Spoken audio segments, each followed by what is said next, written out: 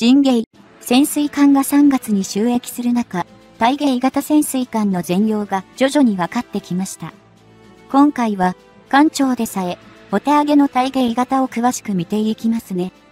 お手上げとは、あまりの高性能でってことです。気になる動きも、台湾初の自国建造潜水艦海軍が対芸型潜水艦を超えてるって話もあるんですが、中国海軍が一番危機感を感じているようですね。台湾海峡で中国海軍の潜水艦が密かに沈んでいるかもしれませんね。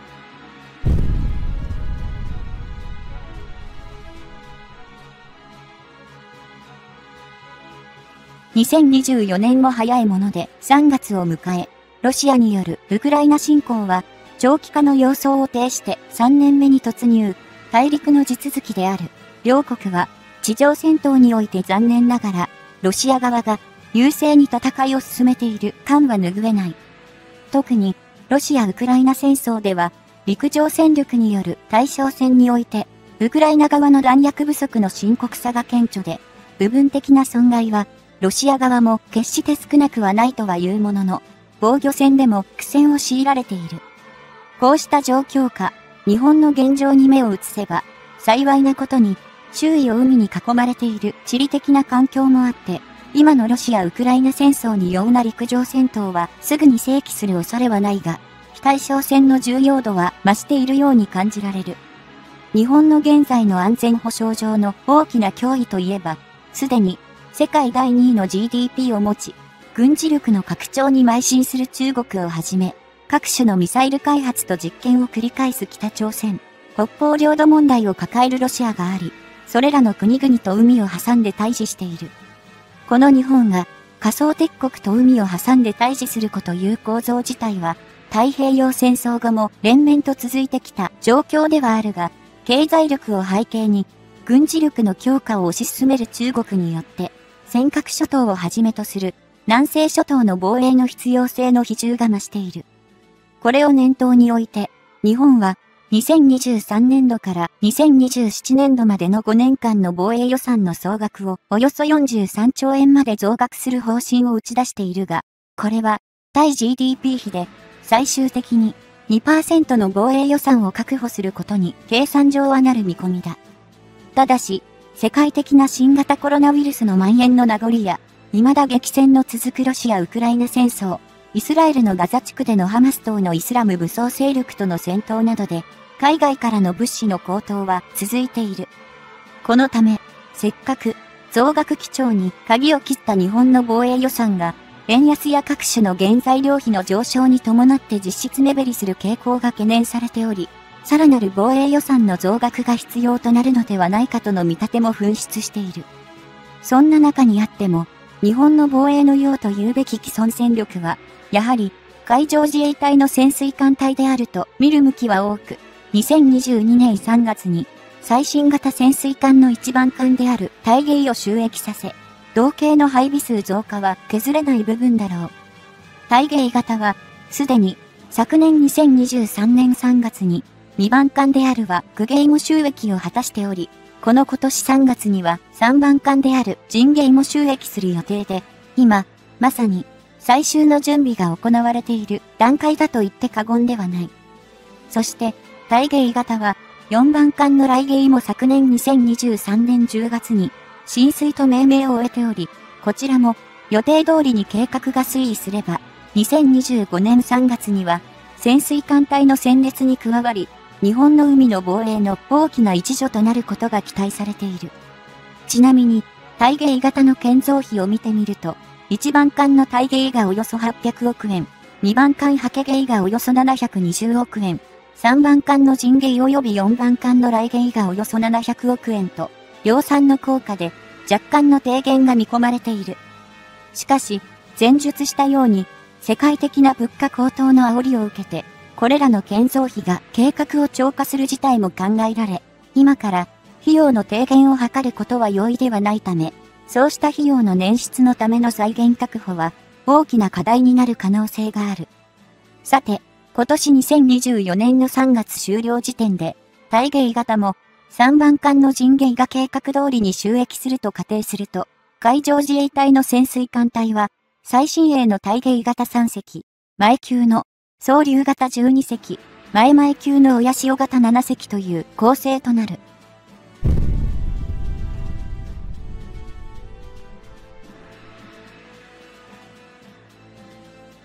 これに加えて、最も古い前々級の親潮型2隻が練習潜水艦として残されることが想定されているので、万が一の日本の有事の際には、少なくとも24隻の潜水艦を戦力として稼働させることが可能な体制ではないだろうか。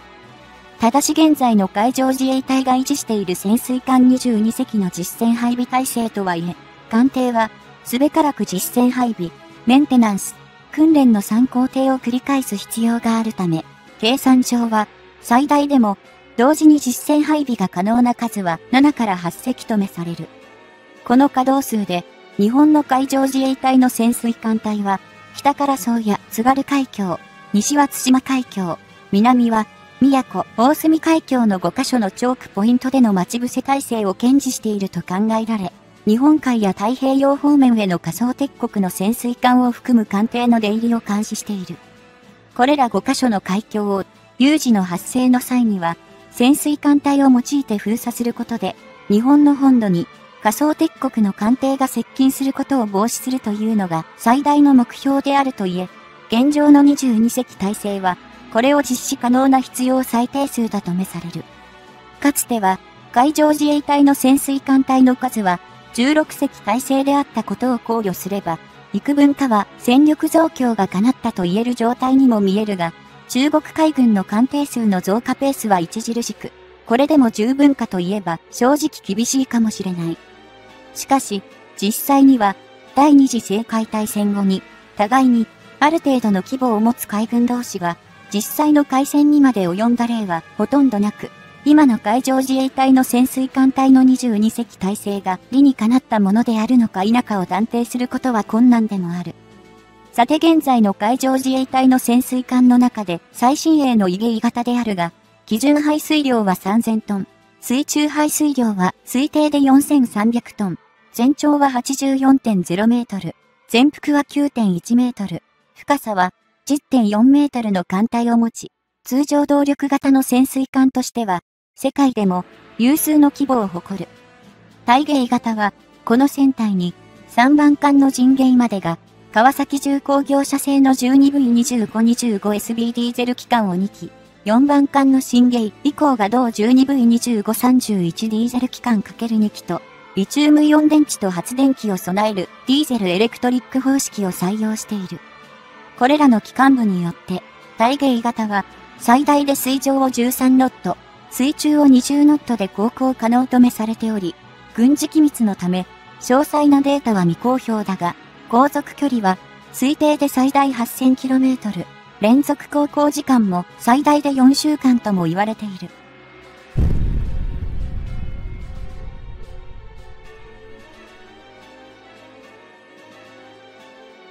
こうした海芸型の性能は、推定値とはいえ、通常動力型の潜水艦としては世界最高水準であることは間違いなく、前々級の親潮型や総流型と比べても、大幅に能力を向上させていると言ってよいだろう。こうした点を捉えて、大芸型であれあば従来の前述した5つの海峡周辺における待ち伏せ戦術に止まらず、他国の攻撃型の原子力潜水艦が実施可能な移動を行いながらの迎撃戦術が可能となったと指摘する声も一部で聞かれる。しかし、個人的には、いかに、体芸型が、リチウムイオン蓄電池の性能の大幅な向上を果たしたとはいえ、他国の攻撃型の原子力潜水艦が、軒並み30ノット前後の水中速力を発揮可能な能力を備えていることに、すれば同列には論じられないと感じる。そもそもが、海上自衛隊の護衛艦でも、多くの水上戦闘艦が、最大速力で30ノットを超える速力を発揮可能なことを踏まえれば、大芸型とはいえ、とそれらを追尾する速力には程遠く、主体的な作戦は困難に思えるからだ。それでも、大芸型は、通常動力型の潜水艦としては、世界的に見ても最高水準に到達していることは間違いなく、ことに、親潮型総流型に比して、連続潜行時間が大幅に伸びたことは、待ち伏せ戦術においても、有効性をさらに高めたと考えられる。最新鋭で、かつ、日本の海上自衛隊の最高の軍事機密に属するゆえに、体芸型の詳細なスペックは伏せられているが、稀にある乗組員へのインタビュー等を参照すると、艦内のあらゆる運用が機械化、デジタル化されていることは間違いない。ことに、前々級の親潮型と比べれば、これまで人力や目視で行っていた運航作業の王の分野で機械化が進んでおり、乗組員の艦艇運用に必要な体力的な負担は大幅に削減されていることが推察される。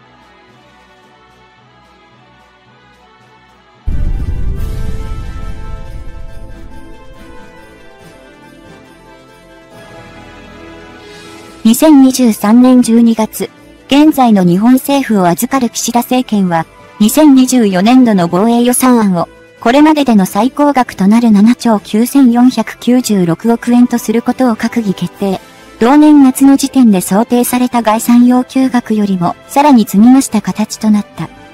現在の日本の防衛予算案は、さらに、今から前々年の2022年末に一部の名称変更とともに刷新されたいわゆる安保関連3文書。その中でも、防衛力整備計画に基づいて増加が図られており、厳しい日本の安全保障環境を反映したものと言えよう。現在の岸田政権は、発足時より、その施策として、骨太の政策を掲げ、2023年度から2027年度までの直近5年間の防衛予算を、総額でおよそ43兆円規模に拡大することに着手。2年目にあたる2024年度分も大きく増加させた。この5年間で総額およそ43兆円という防衛予算の規模は、従来まで不分率として日本の政治上で扱われていた対 GDP 比で約1%を目安とするという目標を倍の約2%にまで引き上げることを期としている。軍事費を対 GDP 比で約2%を目安とする指標はヨーロッパの NATO 加盟国も目標に置いている数値であり、日本もこれに習ったと見る向きも多いが、単純に、これまでの倍額に相当するというわけでもない。というもの岸田政権が掲げる防衛予算額を、対 GDP 比で2%とする目標の中には、陸海空の3自衛隊に加えて、海上保安庁の予算も包括したものとなっており、従来の自衛隊のみのものとは単純比較できない側面もある。それでも、太平洋戦争後で最も悪化してると懸念されている日本の周囲の安全保障環境の現実を鑑みれば、増加の方向に舵を切ったことには変わりがなくなく、個人的には一定の評価を受けて叱るべきではないかと感じる。これまでの太平洋戦争後の日本の防衛予算案は、旧ソ連陣営とアメリカ陣営との冷戦構造が、前者の自然崩壊によって終わりを迎えたことを反映し、明らかな減少基調で推移してきた点は否めない事実であった。それに伴い、多数の日本の防衛関連に従事していた企業が、その分野からの撤退を行っており、正直防衛装備品の供給に関与することは、企業の業績から判断すれば、利幅の薄い、ビジネス面では、利点の少ない分野と言えた。そのため、日本の防衛装備品の供給元として、それでも名を連ねてきた企業の多くは、ビジネス上の採算、利益率は多くとも、売上の2から3%という現実を甘んじて受け入れ、国防を担う責任感から継続をしてきたと見てよいだろう。こうした日本の防衛装備品の業界を支えてきた企業として最も著名であるのは、間違いなく三菱重工業者であると思われるが、キレに次ぐ2番手の規模とシェアを堅持しているのが川崎重工業者である。ただし、防衛装備品に限定せず、企業としての売上規模という観点から見た場合、日本の防衛装備品の供給元企業は、売上高約5兆円の三菱電機社が、首位、2位が、同約4.2兆円の三菱重工業者、3位が、約3.9兆円の大金工業者となっている。続いて、4位が、同3.7兆円の富士通、5位が、同約3.3兆円の日本電機、6位が、同約1.7兆円の川崎重工業者となっており、これに、7位で同約1.3兆円の IHI 社、8位が、同約2.4千億円の日本製鉄所社、9位が、同約2.2千億円の新名和工業者、10位が、同約2.1千億円のヒアブラ社と続く。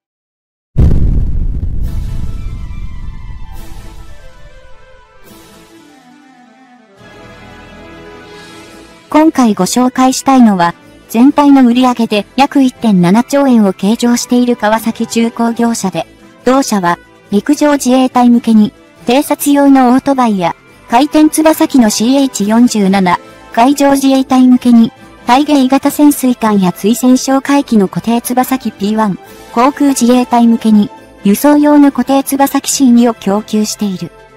川崎重工業者は前述した三菱重工業者 IHI 社と並んで日本の重工業の一角をなす代表的企業の一つであり、民生品の分野では、二輪車、オートバイや水上オートバイ、また、鉄道用の車両の製造等でも、広く、その名を知られている。全くの個人的な余談だが、川崎重工業者の大型オートバイは、トム・クルーズ主演の人気アクション映画トップガンシリーズでも、主人公の愛車として失踪するシーンが印象的で、戦闘機パイロットの普段の足としての存在感がよく表現されていたと感じる。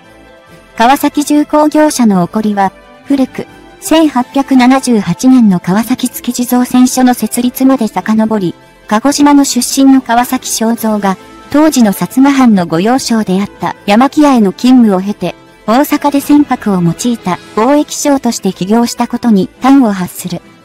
以後、造船業から鉄道の機関車や旅客車の製造に乗り出し、航空機の製造技場にまで業用を拡張。現在に続く川崎重工業者としての基礎を築き、太平洋戦争を挟んで日本を代表する重工業企業として今日に至っている。現在の川崎重工業者は事業部門制度を敷いており、同社ホームページ上の記載によれば、川崎車両株式会社が鉄道車両製造を手掛け、日本の神戸のみならずアメリカにも、2カ所に工場を構え、日本における同分野のリーディングカンパニーとなっている。続く事業部門として航空宇宙システムカンパニーがあり、ここでは、前述した自衛隊向けに、対戦勝回帰の固定翼機 P1、輸送用の固定翼機 C2 等の製造を担うほか、日本における回転翼機のシェアでも、首位の地位を占めている。この航空宇宙システムカンパニーでは、完成品としての各種の固定翼機、回転翼機の製造に止まらず、民間の旅客機用のターボファンエンジンや回転翼機用のターボシャフトエンジンの製造も手掛けている。次に、エネルギーソリューションマリンカンパニーという事業部門は、エネルギー、プラント、専用推進、船舶海洋という4つのディビジョンから構成され、船舶海洋ディビジョンにおいて潜水艦建造を担当している。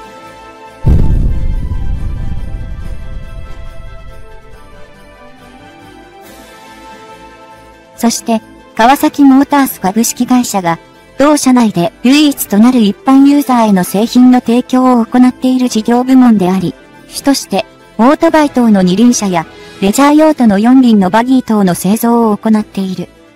最後の事業部が精密機械、ロボットカンパニーであり、ここでは、建設機器、産業機器、及び船舶用の油圧機器である、ポンプやモーター等や、これらを一体化させた装置を製造。また、各種の生産工場向けに、各種の産業用ロボットを提供している。川崎重工業者では、2023年度の第3四半期までの累計においては、パワースポーツエンジン事業が約33%、航空宇宙システムとエネルギーソリューションマリン事業が約19%、精密機械、ロボット事業が約13%、車両事業が約11%の売り上げを占めている。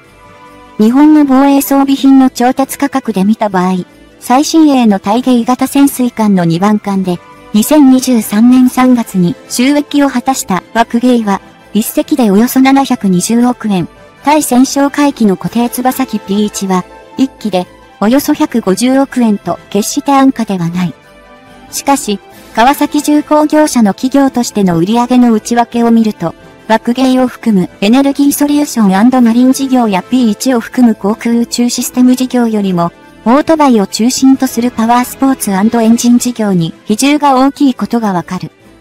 冒頭で述べたように、日本の防衛予算案は、昨今の安全保障環境の悪化を反映して増額基調に変化しているが、例えば、川崎重工業者の P1 などは、無人航空機による任務の一部移管も加わり、2023年度予算までの累計調達数は45機と減少傾向にある。川崎重工業者では、現在の防衛予算案の総額の拡大を受け、防衛装備品としての自社の売上規模も拡大する予測を行っているが、額面のみならず、採算上からも、現行の2から3%という水準が、予測通りの10%ほどに上昇することを願ってやまない。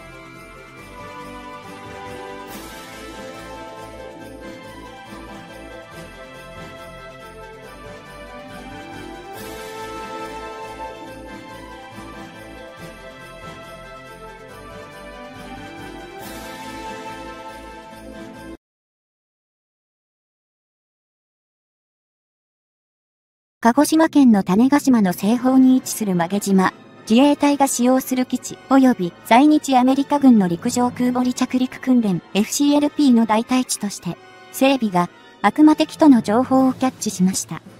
今回は、曲げ島の現在と曲げ島の役割を詳しく見ていきます。中国的には、やっぱり嫌だろうなと感じていますし、こんなに早く建設できるのかと考えてしまいます。出雲や加賀にアメリカ原子力空母が有効本格始動となると、中国にとってはとても厄介でしょうね。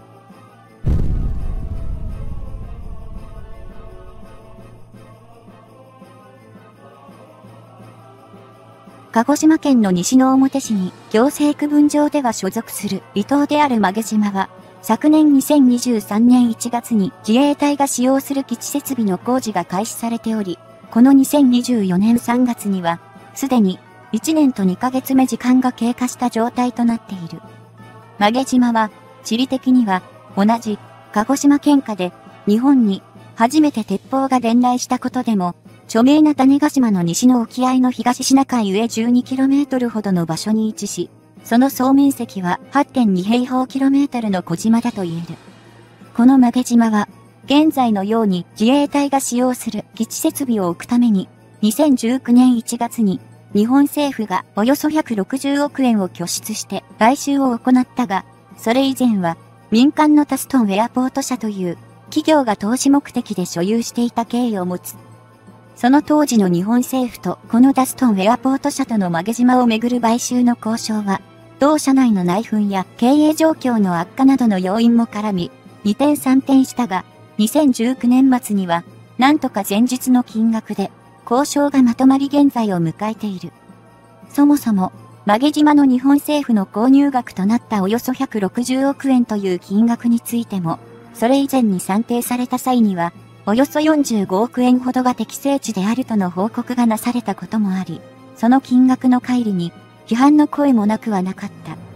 しかし、日本政府としては、自衛隊が使用する基地を曲げ島に整備することは、非常に重要で、かつ、喫緊の政治課題となっていた側面があり、およそ45億円ほどとされた算定額に上乗せをしてでも早期に買収し工事を行う必要に迫られていた。というのも、曲げ島に自衛隊が使用する基地設備を行うことは、1991年8月以降、在日アメリカ軍の航空母艦艦載機が、東京都下の小笠原諸島の洋島で実施中の陸上空母離着陸訓練 FCLP を、もっと日本の本土に近い位置に移すことが求められていたためである。陸上空母離着陸訓練 FCLP とは、アメリカ海軍の航空母艦艦載機の運用にあたって必ず必要となる訓練であり、航空母艦自体が整備等の理由で港に入った際に、その艦載機の搭乗者の操縦技量を維持するために必須となっている。アメリカ海軍が保有、運用を行っている大型の原子力航空母艦は、2024年時点でも11隻を数え、その大きさも全長で300メートル、排水量で10万トンを超過する巨艦ではあるが、艦載機の離発着には高度な技量が求められる。これらアメリカ海軍の航空母艦艦載機の搭乗者には、夜間も含めた終日の離発着を確実に履行する技量が欠かせないため、陸上空母離着陸訓練 FCLP は、航空母艦が入港している際に、陸上の滑走路を、その代替として離発着を反復して行うものである。具体的に2024年時点で言えば、神奈川県の横須賀を母港とするミニッツ級原子力航空母艦の9番艦ロナルド・レーガンが、同行に入港した際に、陸上空母離着陸訓練 FCLP を行う必要があり、日本の防衛においても、その実施場所の確保が最優先事項と言えよう。当然のことであるが、日本に配備されるアメリカ海軍の航空母艦そのものは時代とともに変化するが、神奈川県の横須賀を母港とすることは変わらず、その入港時には、関西機は地理的に近い神奈川県の厚木基地を駐機場として使用していた。そして、その厚木基地から2001年まで、陸上空母離着陸訓練 FCLP は青森県の三沢基地及び山口県の岩国基地に出向いて実施され、並行して、1982年からは、厚木基地、翌1983年からは、東京都の横田基地でも実施されるようになっていた。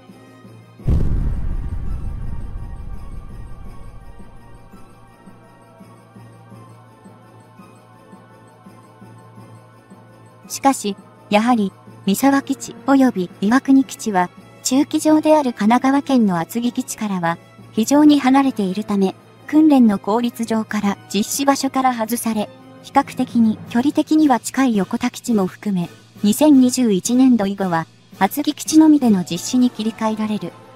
ちょうど、この時期、アメリカ海軍の航空母艦艦載機の主力戦闘機は、可変翼や映画トップガンでもよく知られる F14 トムキャットから F A18 ホーネットへと移行されたが、この変更も陸上空母離着陸訓練 FCLP に大きな影響をもたらした。F14 トムキャットと比較した場合、大体機となった FA18 ホーネットの方が機関部から発生する騒音が格段に大きく、本国のアメリカでは、バージニア州にあるバージニアビーチのオシアナ海軍航空基地の周辺住民だから、抗議活動並びに裁判にまで発展する。事態を重く見たアメリカ海軍側は、オシアナ海軍航空基地において、F、A18 ホーネットを用いた陸上空母離着陸訓練 FCLP を実施することを断念し、代替する訓練場所を設けることで、その騒音問題を鎮めることを余儀なくされた。こうした本国アメリカでの陸上空母離着陸訓練 FCLP をめぐる騒音問題が顕在化したことで、日本においても厚木基地で実施されている同訓練の継続に対して、批判の声が大きくなり、前述したように、1991年8月以降は、小笠原諸島の洋島に、その部隊は移される。ただし、厚木基地から洋島までは、直線距離で、およそ 1000km もの距離があるため、アメリカ海軍側としては、陸上空母離着陸訓練 FCLP を実施する際に、対象搭乗者の負担の増加や、時間、燃料等の負担の増加を強いられることとなった。こうした状況から、日米の両政府は、日本における陸上空母離着陸訓練 FCLP の実施場所についての協議を重ね、2003年には、広島県下の瀬戸内海に浮かぶ無人島、大黒上島に滑走路を整備し、その代替地とする案が浮上する。しかし、この大黒上島の代替地案も、地元住民をはじめとする猛烈な反対に遭遇し、同等を管轄し、その計画を打ち出した沖見町町長が辞任に追い込まれる事態に発展。日本における陸上空母離着陸訓練 FCLP の実施場所の変更には至らなかった。こうした状況と並行しつつ、在日アメリカ軍の中では、部隊の再編が進められることとなり、横須賀基地に航空母艦が入港した際の艦載機の中期場所は、広島県の岩国基地とすることが決定。2017年8月以後、段階的に、その移管が行われた。この体制が完了した翌2018年3月以後は、横須賀基地に航空母艦が入港した際には、その艦載機は岩国基地へ駐機することとなり、